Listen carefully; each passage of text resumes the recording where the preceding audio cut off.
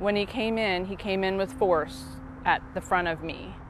And then at some point from there, picked me up and flung me onto my stomach, pulled my shirt over my head, and that's when he tied my hands to my ankles. He said he was going to kill me.